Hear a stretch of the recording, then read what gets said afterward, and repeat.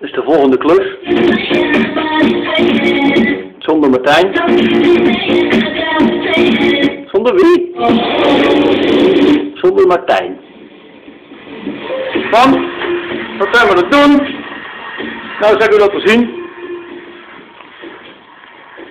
Hoe ziet de tuin eruit? Zo wordt de badkamer. En waar is Martijn? Nou, Martijn nam vanmorgen zijn telefoon niet op. Dus die moet het al missen. Weggeslagen muren. Opengebroken kozijnen. Slaapkamers zonder vloer. Mooie roze baan op de muur. Nog wel. En wat Martijn ook moet missen. Ik u laten zien beneden. Trap even af. Speciaal voor jou, Martijn. Mooie klootzak. En, wat Martijn ook allemaal moet missen, dat is, kijk Martijn, tegenwoordig hebben we een